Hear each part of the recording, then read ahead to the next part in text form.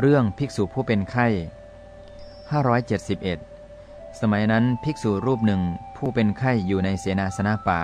พวกชาวบ้านนำของเคี้ยวของฉันไปถวาย ครั้นแล้วได้กล่าวอารัธนาภิกษุนั้นดังนี้ว่า นิมนต์ฉันเถิดขอรับ ทีนั้นภิกษุนั้นมีความยำเกรงอยู่ว่า พระผู้มีพระภาคทรงห้ามการรับของเคี้ยวของฉันในเสนาสนะป่า ด้วยมือตนเองแล้วเคี้ยวฉัน จึงไม่ยอมรับ ท่านไม่สามารถเที่ยวบินทบาทได้ทัน จึงไม่ได้ฉันพัตหาร ท่านได้แจ้งเรื่องนั้นให้ภิกษุทั้งหลายทราบ